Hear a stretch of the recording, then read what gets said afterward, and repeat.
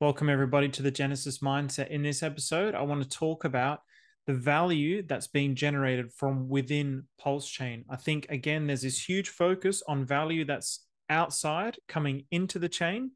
And I think that that future is going to come. I think that's an inevitability. I think at the moment, obviously, everything that's happening uh, with the chain and getting interoperable and all the issues surrounding the SEC and whatnot, I think that's really limiting people's confidence in the chain. And that's fine. But once those things are lifted, then it's really just opportunity. So I think setting ourselves up early, setting myself up now is probably going to be one of the best things that I can do in this particular blockchain. Yes, of course, accumulating Pulse Chain, but actually becoming a part of Pulse Chain. So I want to just start by just sharing this little video clip.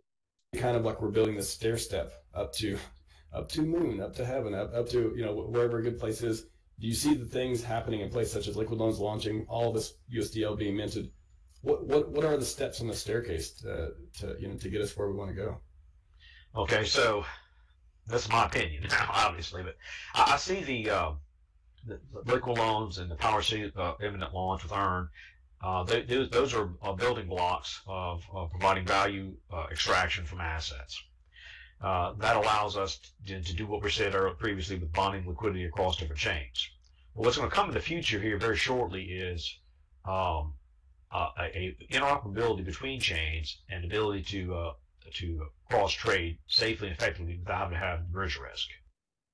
So that's something that's very important in my opinion. So without any bridge risk, that kind of technology is coming. So Neil for T shares is basically saying that technology is coming, but the interoperability between chains, that is a key. That's one of the defining unique features of Pulse Chain is that it was a fork of Ethereum and it copied the system state. It didn't just create its own blockchain, it actually created something that complemented an existing blockchain. So it's like the little brother of Ethereum, which is like our older brother. So I think that that's something that's very unique. I think there's a foresight there that sees ah, the future of blockchains is interoperable. I think that's a very key point that's only really dawned on me from actually watching and listening to this kind of clip.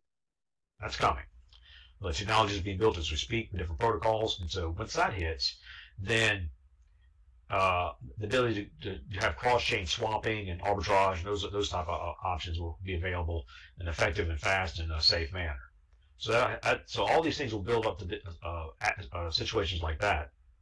So that's the significance of it. That it will build up to a future of interoperability where people can actually take advantage of the swaps between the different chains. That's one of the plays, arbitrage, creating huge liquidity pools between blockchains.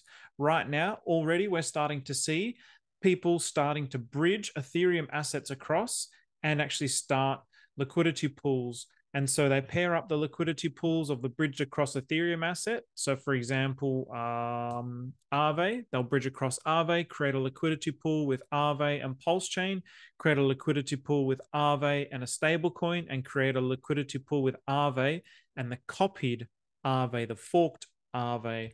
And so, as they do this, there's arbitrage opportunities between the price that says it's like a it's like a stable coin basically because the Aave on Ethereum is stable to the Aave on Pulse chain. And so the arbitrage that happens between those two prices the bots can take advantage of and people can take advantage of as well.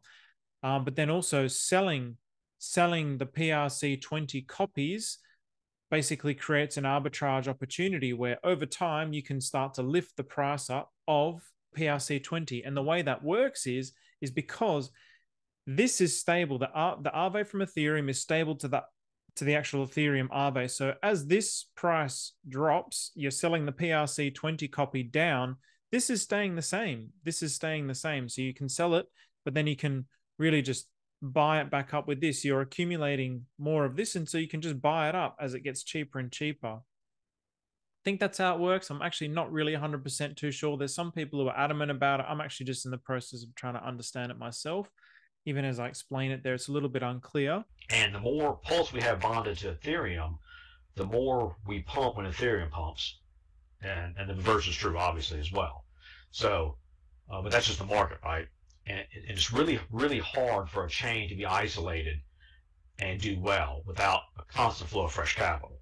And so as long as we're isolated we're not, and not having fresh capital come in, we'll be a stagnant chain. We'll just be trading amongst ourselves, which is kind of what's happening at, now. If you look at the at the uh, um, the overall uh, trade value uh, on a daily basis. And so, and once we have tools, automation tools and stuff like Tetranode come into play, some of those things will probably pump up as far as the uh, daily transactions. But until we go across chain uh, or bring fresh capital in, we'll, we'll kind of be, in be treading water the whole time. If the future is interoperable and we can kickstart an economic system within our own blockchain, it makes it very attractive. Once the interoperability between all the different chains actually exists, it's seamless. At the moment, it's like a bit, it's a bit tricky. It's not as seamless. It's not as seamless as you would want it to be, but it will eventually get there. Of course, it's going to become as easy as just clicking a few buttons, well, which is what it is now. But it's going to probably be more on one UI or one interface or one website, whatever it's going to be.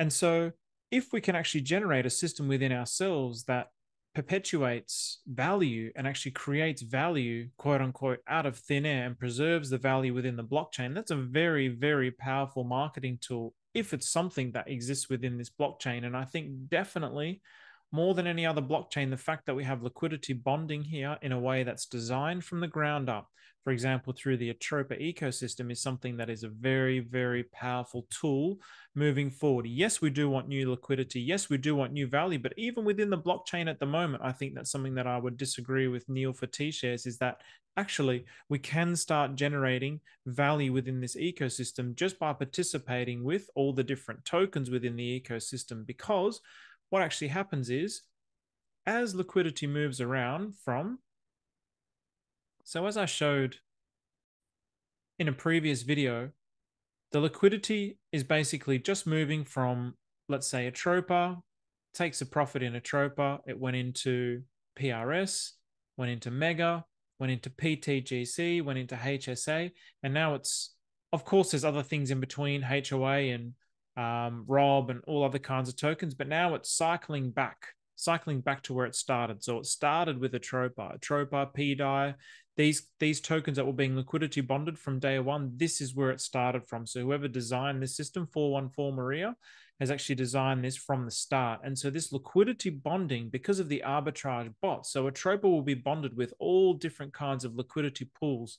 So once Atropa goes up the other things are going up as well and so there's arbitrage is actually happening between so if a Atropa is paired to TSFI and a Atropa is going up, it's pulling up TSFI. But if TSFI is actually technically not really having new value, it's just going up by virtue of the fact that the Atropa pool is going up, then things that the TSFI is paired with, there's arbitrage opportunities there. And so the arbitrage bots are basically like leaving little pieces behind and continuing to create this forever floor.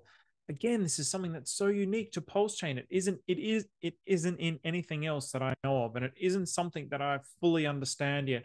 I've obviously been like looking at this for two or three months now, going down a whole bunch of different rabbit holes, like pulling up hundreds of different charts and trying to compare all these different charts. And okay, if it goes from here, then it then it goes from here. But what's actually happening is as these things move, everything is kind of moving at different stages. And so the, the hope is there's all these different strands in the Atropa ecosystem that lead up to Atropa. And so the hope is that there'll be like liquidity flowing through this strand. And as it flows through that strand, everything else that it's connected to is also going up.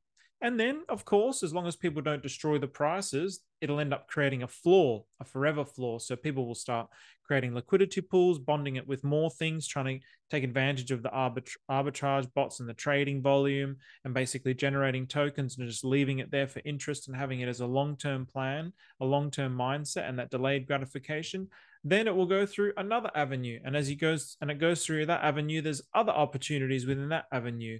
And so there's so many different tokens but the beauty is now that the 414 is now starting to get paired up with lots of other different tokens. So for example uh, teddy bear and rob. So rob might not actually have any value coming into it might all just be coming through teddy bear. And if teddy bear is going up then rob is going up. So if you have rob yeah, you could sell a little bit of Rob, and you didn't. The value of Rob didn't actually really go up; it only went up by virtue of the fact of its bonding with Teddy Bear. And so, this is the beauty of liquidity bonding. This is one of the unique things about liquidity bonding. So, I really want to try and understand this more. I'm really trying to understand this more, and I'm really trying to deliver this to you guys and have you guys also share with me your understanding of it. So, so Vivian did reach out to me today about the A1A and so the whatever whatever mechanism the A1A is going by um, basically was trying to share that with me. I didn't fully understand it, admittedly. There's a lot of stuff there, and it probably is very simple, but my head just hasn't wrapped wrapped itself around it yet. So once I actually understand what A1A is doing, I want to then deliver that to you guys as well. So again, if you guys learn something new, if you find something out, you let me know and let's learn together. That's what this is all about. So thank you very much, everybody, and we'll see you tomorrow.